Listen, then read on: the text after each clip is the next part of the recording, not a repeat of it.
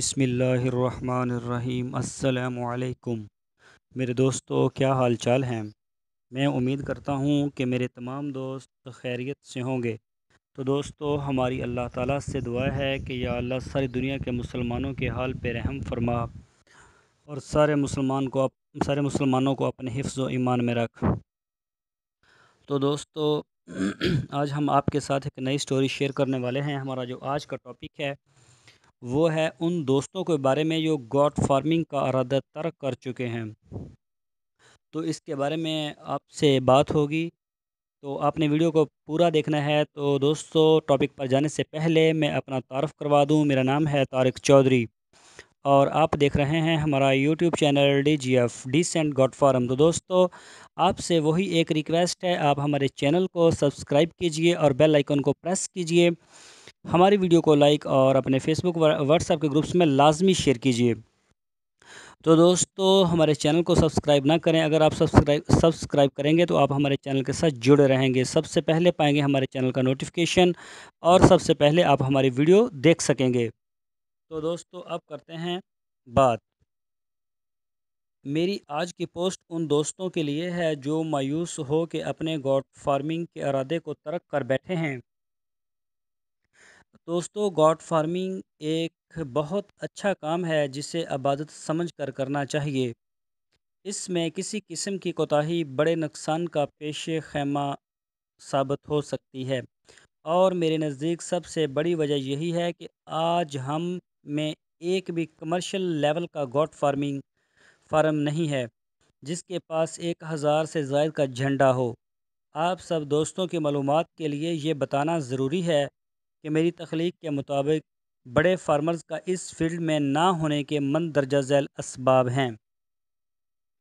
تو دوستو، ایک ہے دولت مند افراد کی عدم دلچسپی اور نمبر دو ہے دلچسپی رکھنے والے افراد کے پاس سرمایہ کی کمی اور اس کام کی مہارت کا نہ ہونا۔ نمبر تین ہے بکریوں میں مہلک بیماریوں اور زیادہ شرح اموات۔ درجہ ذیل جو ہم نے آپ کو وجوہات بتائی ہیں، میں آخر میں وجہ فارمرز اور اس کے تمام حلقہ احباب کو ہمیشہ کے لیے گوڈ فارمنگ سے دور کر دینے والے کر دیتے ہیں۔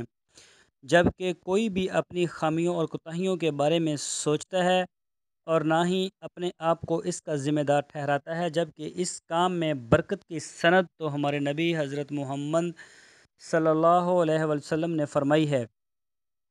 اس کام میں کامیابی کی امید مجھے آپ سب سے زیادہ ہے، جس کی وجہ سے پولٹری فارمنگ میں شرح اموات کو کامیابی سے کنٹرول کر لینا ہے۔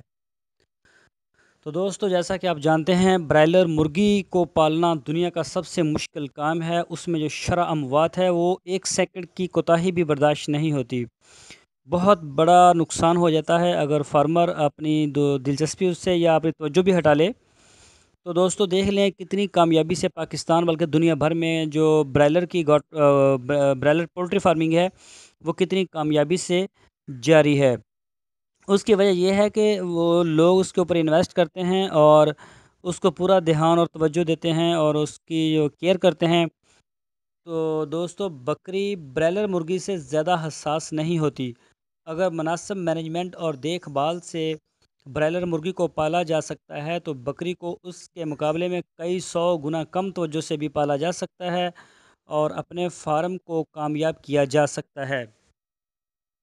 تو دوستو، میری آپ سب گوڈ فارمرز کو ایک نصیحت ہے کہ جو بھی بھائی یہ کام کرے، اسے برائلر پولٹری فارم کے اصولوں کو مد نظر رکھ کر کرنا چاہیے۔ اصول ایک جیسے، مگر طریقہ کار الگ الگ۔ تو دوستو، آپ ہماری جو ویڈیو ہم نے آپ کے ساتھ شیئر کی ہے، میں امید کرتا ہوں ضرور آپ کو اس سے کوئی نہ کوئی معلومات ملی ہوگی، کسی نہ کسی حوالے سے آپ کا ضرور فائدہ ہوا ہوگا۔ تو اگر آپ کو ہماری ویڈیو پسند آئی ہے، تو آپ اسے اپنے فیس بک اور واٹس ایپ میں لازمی شیئر کریں۔ اور لازمی شیئر کریں اور تاکہ آپ کے بھی جو دوست ہیں، ان سب کا فائدہ ہو سکے۔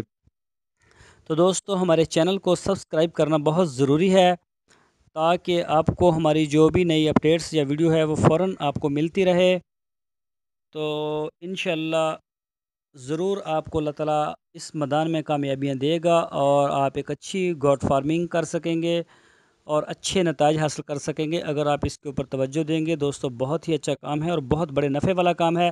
جیسا کہ ہم نے آپ کو پیچھے ٹاپک میں بھی بتایا کہ اس کام کی، اس کام کے منافع کی جو سند ہے، وہ ہمارے نبی حضرت محمد صلی اللہ علیہ وسلم نے ہمیں دی ہے کہ اس کام میں نفع ہے۔ بلکہ اللہ تعالیٰ نے جتنے بھی انبیاء دنیا میں بھیجے، سب نے ہی تقریباً بکریوں، بکریاں چرائی ہیں۔ اور ہمارے نبی صلی اللہ علیہ وسلم نے تو بہت کم معاوضے پر بھی بکریاں چرائی ہیں کسی بندے کی۔ تو اللہ تعالیٰ نے اس کام میں بہت زیادہ برکت رکھتی رکھی ہے۔ آپ اس کام کو پوری دلچسپی کے ساتھ کریں اور پوری ایمانداری کے ساتھ کریں، اس میں دھوکہ دہی نہ کریں۔ تو دوستو، ہماری ویڈیو کو لازمی شیئر کریں اور چینل کو سبسکرائب کریں۔ پھر ملیں گے آپ کو اپنے ویڈیو کے ساتھ۔